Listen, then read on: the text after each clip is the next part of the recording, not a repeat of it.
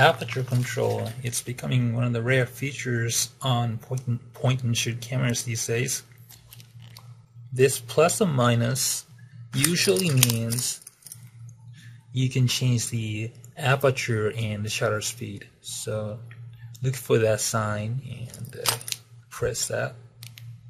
Okay.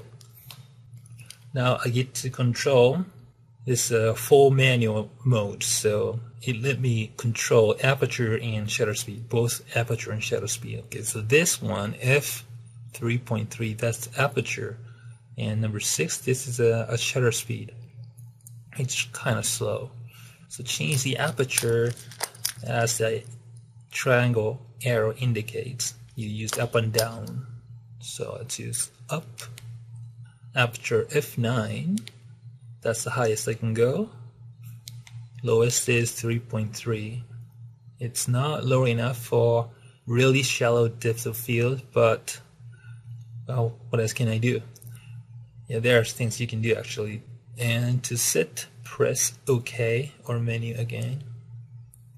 Set shutter speed aperture. Okay aperture set. That's it